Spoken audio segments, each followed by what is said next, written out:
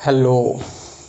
अब स्टार्ट करते हैं part second, chapter five, organising का पार्ट सेकेंड है। और इस पार्ट में हम लोग पढ़ेंगे ऑर्गेनाइजेशनल स्ट्रक्चर। ध्यान दीजिएगा, ऑर्गेनाइजेशनल स्ट्रक्चर। दो तरह के हमारे स्ट्रक्चर हमारे ऑर्गेनाइजेशन के अंदर होते हैं। पहला फंक्शनल स्ट्रक्चर एंड दूसरा होता है डिविजनल स्ट्रक्चर एक एक करके हम लोग इसके बारे में पढ़ेंगे, तब तक बने रहिए और वीडियो को लास्ट तक ज़रूर देखिएगा। बात करते हैं हम लोग फंक्शनल स्ट्रक्चर की। तो grouping of jobs of similar nature under word department similar nature ध्यान दीजिएगा। सिमिलर नेचर के जितने भी जॉब होते हैं, वो जितने भी ग्रुप ऑफ़ सिमिलर नेचर के जॉब हैं, वो वन डिपार्टमेंट के अंदर आएँगे, उसको बोले, क्या बोलेंगे हम लोग? उसको बोलेंगे फंक्शनल स्ट्रक्चर एक तरफ़ से आप बोल, मैं आप लोग को बता दूँ कि जो भी कंपनी या ऑर्गेनाइजेशन सिंगल प्रोडक्ट बनाती है, जैसे कि कॉस्मेटिक बना रही है तो सिर्फ़ कॉस्मेटिक बना रही है, वहाँ पे आप फंक्शनल स्ट्रक्चर अपना सकते हैं, वहाँ पे फॉलो कर सकता है उस ओ ऑर्गेनाइजेशन जहाँ पे सिंगल प्रोडक्ट बनाए जाते हैं, जो ग्रुप ऑफ़ वर्क एक डिपार्टमेंट के अंडर में आ जाए group of same nature of job एक डिपार्टमेंट के अंडर में आ जाए जैसे कि यहाँ पे सबसे पहले हमारे होते हैं मैनेजिंग डायरेक्टर उसके अंडर में हमारे जो जो चीज़ें आती हैं तो क्या आती हैं? ध्यान दीजिए। प्रोडक्शन डिपार्टमेंट जितने भी प्रोडक्शन से रिलेटेड चीज़ें होती हैं, वो हमारे प्रोडक्शन डिपार्टमेंट के अंदर आती हैं। यानी ग्रुप ऑफ़ वर्क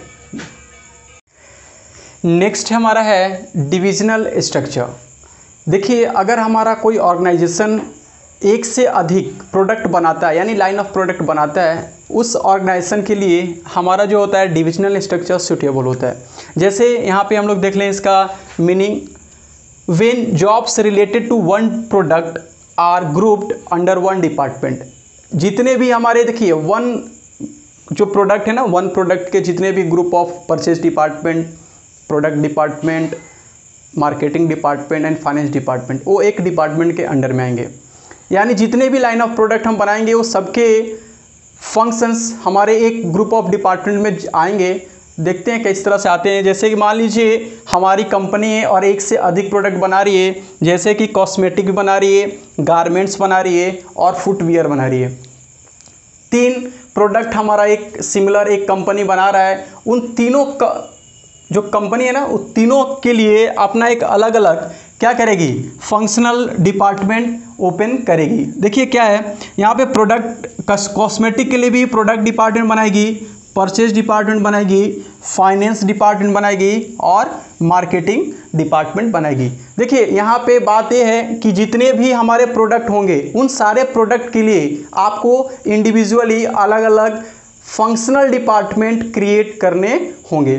जैसे कि मैंने यहाँ बताया गारमेंट्स के लिए भी आपको purchase department product department, finance department और मार्केटिंग डिपार्टमेंट आपको रखना होगा। नेक्स्ट है इसमें फुटवेयर। फुटवेयर के लिए भी आप जितने भी लाइन ऑफ़ प्रोडक्ट बनाएँगे, उन सारे लाइन ऑफ़ प्रोडक्ट के लिए आपको अलग से फंक्शनल स्ट्रक्चर क्रिएट करना होगा। ये थोड़ा सा कॉस्टली होता है हमारे ऑर्गेनाइजेशन के लिए, लेकिन आपको ये करना पड़ेगा। किस लिए करना पड़ेगा? क्योंकि अगर आप सारे प्रोडक्ट के लिए एक ही प्रोडक्ट डिपार्टमेंट क्रिएट कर देते हैं तो पॉसिबल नहीं है कि सारे प्रोडक्ट का प्रोडक्शन एक ही हब के नीचे हो जाए या एक ही मशीन के ऊपर हो जाए। तो हमें हर एक प्रोडक्ट के लिए अलग अलग डिपार्टमेंट क्रिएट करना ही पड़ेगा। तब जाकर हमारा जो सुटेबल और स्मूथली हमारा वर्क हो पाएगा। तो हमारा ये था फंक्शनल और डिविजनल स्ट्रक्चर इसके मेरिट डीमेरिट यानी एडवांटेजेस और डिसएडवांटेजेस भी आते हैं। तो आप उसको पढ़ लीजिएगा, जो नहीं समझ में आएगा कमेंट कर लीजिएगा। क्योंकि वो बहुत ज़्यादा इम्पोर्टेंट नहीं है। मुझे नहीं लगता बहुत ज़्यादा इंपॉर्टेंट है और आप लोग थोड़ा सा पढ़ लें तो बहुत ईजी है और उसको आप लोग ईजिली कर लेंगे। थैंक यू धन्यवाद।